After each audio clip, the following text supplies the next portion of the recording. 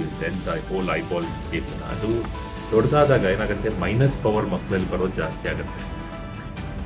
ನಾವು ನಾವು ಸ್ಕೂಲಲ್ಲಿದ್ದಾಗ ಯಾರೋ ಒಬ್ಬ ಇಬ್ಬರು ನಮ್ಮ ಇಡೀ ಕ್ಲಾಸಲ್ಲಿ ಇದ್ದವರು ಕ್ಲಾಸ್ ಆಗ್ತಾ ಇತ್ತು ಇವತ್ತು ನಮ್ಮ ಒಂದು ಸ್ಕೂಲ್ಗೆ ಹೋದರೆ ಒಂದು ಐವತ್ತು ಪರ್ಸೆಂಟು ಮಕ್ಕಳು ಕ್ಲಾಸ್ ಆಗ್ತಾರೆ.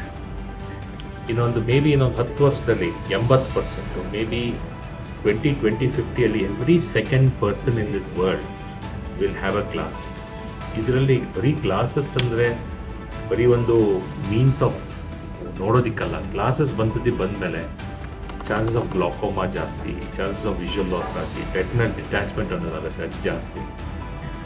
ಇವತ್ತಿನ ದಿನ ದ ಮೇಜರ್ ರೀಸನ್ ಬರೋದೇನಂದರೆ ನಮ್ಮ ಲೈಫ್ ಸ್ಟೈಲ್ ತುಂಬ ಚೇಂಜ್ ಆಗಿದೆ. ನಾವು ತಿನ್ನುವಂಥ ಪದಾರ್ಥಗಳು, ನಾವು ಮಾಡುವಂಥ ಆ್ಯಕ್ಟಿವಿಟೀಸು ಯೂಸ್ ಮಾಡುವಂಥ screen time this is completely change ಇನ್ನೊಂದು ಮೇಜರ್ ರೀಸನ್ ಅಂದರೆ ಮುಂಚೆ ಅಟ್ಲೀಸ್ಟ್ ಒಂದು ಟೂ ತ್ರೀ ಅವರ್ಸು ಮಕ್ಕಳಲ್ಲಿ ಒಂದು ಹೊರಗಡೆ ಆಡ್ತಾ ಇದ್ರು.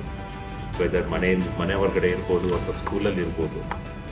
ನಮ್ಮ ಮಕ್ಕಳಲ್ಲಿ ವೈಟಮಿನ್ ಡಿ ಅನ್ನೋ ಅಂಶ ಬಹಳ ಕಮ್ಮಿ ಕಾಣಿಸ್ತಾ ಇದೆ. ವೈಟಮಿನ್ ಡಿ ನಮ್ಮ ಬಾಡಿಗೆ ಬೇಕು, ಕಣ್ಣಿಗೂ ಬೇಕು.